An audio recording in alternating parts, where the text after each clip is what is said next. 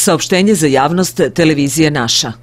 Televizija naša kao televizija istine dužna je da obavesti građane Srbije na koji način predsjednik države Aleksandar Vučić sprovodi kampanju pod nazivom Budućnost Srbije. U svim gradovima i regionima koje do danas u sklopu svoje kampanje obišao predsjednik Vučić, najmenje je bilo građana i meštana posjećenih gradova i regiona.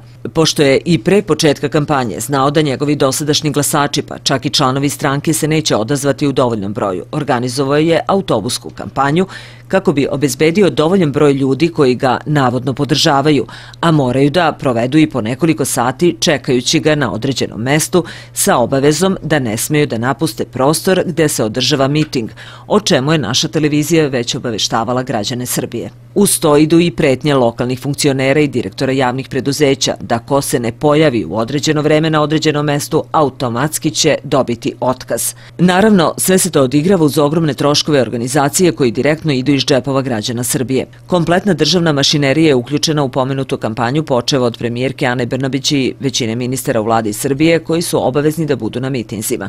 Za to vreme skoro da i nema zasedanja vlade i rešavanja ključnih problema u državi koji se gomilaju. Mi kao televizija istine koje smo uvek uz narod pozivamo građane Srbije da se više ne plaše i ne odazivaju na pozive i ucene režima koji se urušava svaki dan sve više i više.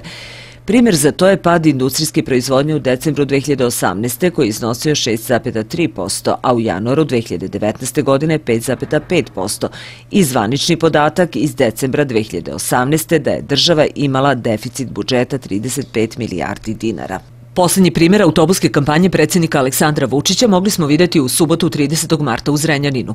Predsjednik je iskoristio otvaranje kineske fabrike guma Linglong kako bi opet okupio što veći broj ljudi. Za vreme trajanja mitinga u Zrenjaninu ekipa naše televizije je snimila kilometrima dugu kolonu autobusa iz drugih gradova.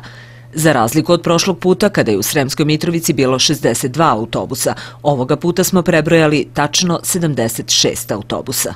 Kada to pomnožimo sa 50 mesta, koliko otprilike imaju autobusi, dolazimo do broja 3800 ljudi koji su dovedeni iz drugih mesta i gradova na miting u Zrenjaninu. Pošto se režimski mediji hvale da je na pomenutom mitingu bilo preko 5000 ljudi, dolazimo do zaključka da je samo 1000 ljudi iz Zrenjanina bilo na pomenutom mitingu. U Vojvodini je bilo mnogo više autobusa neko na prethodnim mitinzima, a javna je tajna da brat predsjednika Aleksandra Vučića, Andrej Vučić, iz Senke vlada Vojvodinom i očekljeno očigledno mu odlično ide organizovanje autobuske kampanje u Vojvodini. Iz pouzdanih izvora smo došli do saznanja da je u školama u Zrenjaninu od roditelja tražena pisana saglasnost da deca zajedno sa odeljinskim starešinama i nastavnicima dočekaju predsjednika. Identični upitnik je deljen i u Nišu pred dolazak predsjednika Srbije na dan obeležavanja počesti žrtvama bombardovanja 24.3.2019.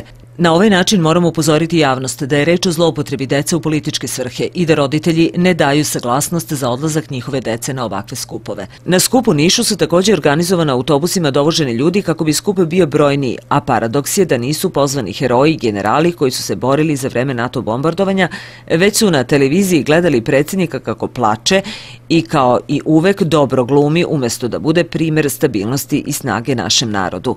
Naša televizija će i dalje nastaviti da prati i obaveštava javnost o nastavku autobuske kampanje predsjednika Vučića Budućnost Srbije.